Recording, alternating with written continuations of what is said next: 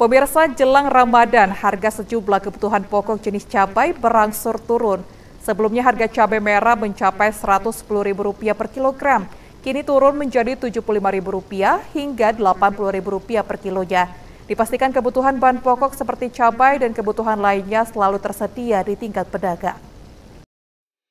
Para pedagang di sejumlah pasar tradisional kota Kuala Tungkal menyebutkan, pada momen menjelang Ramadan, harga bahan pokok terpantau tidak menentu bahkan turun naik. Ini menjadi hal biasa bagi para pedagang di pasar tradisional di kota Kuala Tungkal, terkhusus di pasar Tangguh Rajo Ilir. Salah satu pedagang di pasar Tangguh Rajo Ilir, Endang mengatakan, tak menentu harga kebutuhan bahan pokok, terkhusus jenis cabai, telah terjadi sejak pertengahan bulan Februari. Namun sejak beberapa hari terakhir, harga kebutuhan pokok jenis cabai justru turun. Sehingga harga cabai merah saat ini di harga Rp75.000 hingga Rp80.000 per kilonya. Sebelumnya sempat di harga Rp110.000 per kilonya. Begitu pula harga cabai rawit merah atau cabai setan, saat ini di harga Rp60.000 per kilonya. Sebelumnya sempat di harga Rp100.000 per kilonya.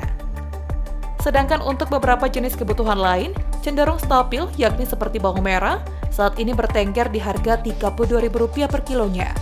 Begitu pula bawang putih di harga Rp34.000 per kilonya. Dan untuk jenis sayuran, justru naik sebelumnya Rp2.000 menjadi Rp3.000.